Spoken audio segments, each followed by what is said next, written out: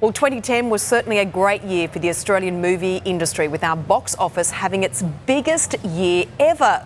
Also enjoying success were several Australian films, with Tomorrow When the War Began bringing in $13.5 million, making it the top Aussie performer. Other popular Australian films were Bran Nue Dae, Animal Kingdom, and The Kings of Mykonos. But there were no match for James Cameron's James Cameron's 3D blockbuster Avatar, which made a whopping $75 million, making it the highest grossing film in Australia.